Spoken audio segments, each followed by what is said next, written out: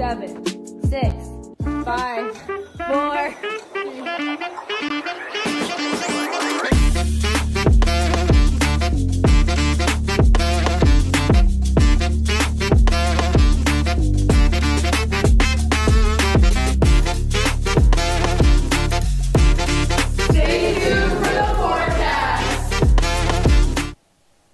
Hey Spew, it's the 4Cast. And I'm Chase. I'm S- Stoyan.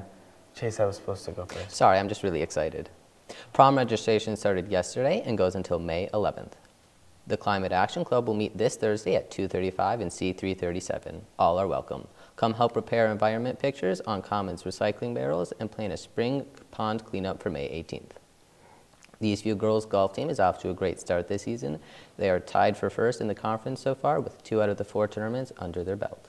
Emma Lai, Megan Young, Addison Schaefer, Sarah Swanson, Abby McDevitt, and Anna Pitt have all had some good season low rounds. Good luck to the girls this week as they go to Brackett's, the Jewel, and Emerald Greens. This is less exciting than I thought. You don't like it? No, public speaking is not for me. Well, for those who do like public speaking, Claire has a video about state speech. This past weekend, Eastview hosted the Minnesota High School League State Speech Tournament. Eastview sent 11 speakers, eight of whom were finalists in their categories. I'm, I'm Allie Nathan, and I'm a captain on the Eastview speech team. Third place from Eastview, Allie Nathan. The Lightning speech team placed third in the state overall. Congratulations to all speakers who competed. It's I'm really excited. I'm happy that I'm here, and I, I'm happy that I can do my piece one more time. From Eastview, Sadiki Abdul. I feel really good that I am known that I'm a part of Eastview Speech, so it feels really good. Seniors, don't forget to complete the EVHS Class of 2023 Future Plan Survey in Naviance. All seniors are required to complete the Future Plan Survey by 3 p.m. on Monday, May 15th. Competition Cheer is looking for incoming 8th through 12th graders to try out for the cheer team. They are looking for both male and female participants. No experience necessary. Auditions for Eastview's fall play Almost Maine will be on Thursday, May 18th from 2:40 to 6 p.m. on the stage at Eastview.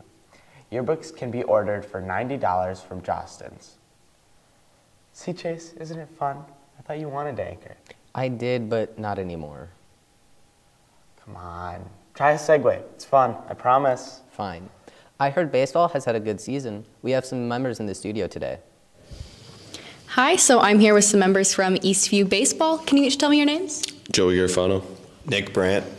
And since you guys have finally gotten back outside, how is it being back out there? Um, being outside is really fun. You know, just being able to stretch it out, throwing and hitting on the field. Thank you. And how have you guys been preparing for your games? Um, the boys do a lot of eating, a lot of J Mikes, and a lot of lightning dogs. And I heard that you've made it all the way to your college career in baseball. So, do you have any advice to those who are still in their high school career? Um, I'd say just like focusing on the season at hand, not getting too far ahead of yourself.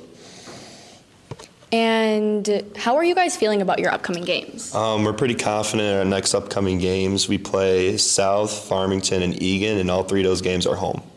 Do you guys have anyone li- you'd like to shout out today? Um, shout out B Downs, Billy Downs.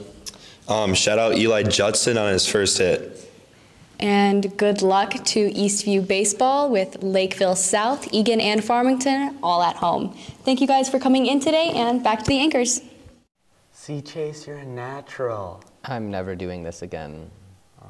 That's all we have for you today, Eastview. See you Thursday For the 4Cast.